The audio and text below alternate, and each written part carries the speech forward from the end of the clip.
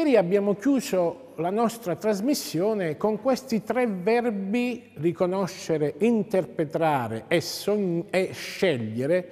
Mi veniva da dire sognare, ma insomma il sogno fa parte anche del nostro discernimento. Anzi, eh, bisogna saper scegliere per sognare bene e realizzare poi questi sogni, se il sogno è il sogno di Dio per me.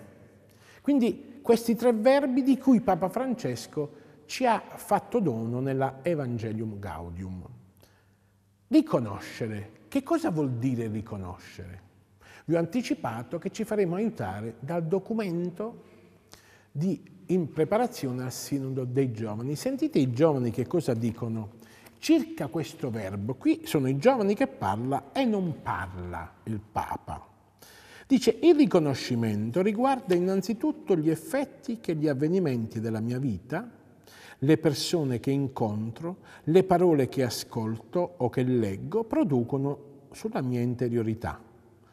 Una varietà, e qui si riprende Amoris Letizia, di desideri, di sentimenti, di emozioni, di segno molto diverso, tristezza, oscurità, pienezza, paura, gioia, pace, senso di vuoto, tenerezza, rabbia, speranza e tiepidezza. Vedete come noi molte volte ci facciamo scivolare gli avvenimenti della vita. E Dio parla proprio quest attraverso questi avvenimenti della vita, che a volte ci potrebbero sembrare insignificanti.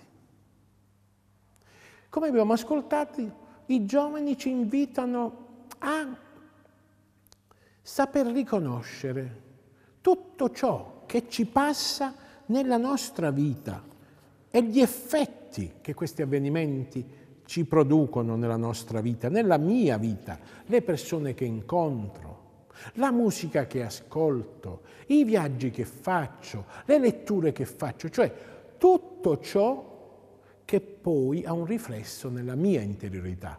Perché è vero, vedete, molte volte noi viviamo tanti incontri, ma non tutti poi segnano la mia interiorità.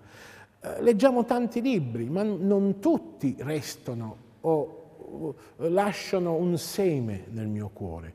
Quindi la capacità, il riconoscere ed intendersi come la capacità di saper vedere quello che di esterno a me poi mi colpisce dentro.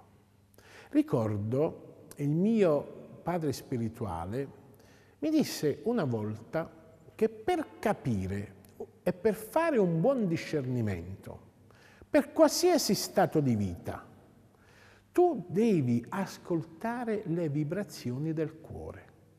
Ecco come occorre riconoscere i propri desideri interiori. Scusate, quando vi siete innamorati, quella donna o quell'uomo che avete incontrato, quando l'avete incontrato, quando vi siete incontrati, avete avuto dentro queste vibrazioni? Quando qualcuno o qualcosa vi vibra nel cuore, attenzione, bisogna saper riconoscere per saper discernere. Io vi aspetto domani, Padre Pio TV, dritto al cuore. Ciao a tutti!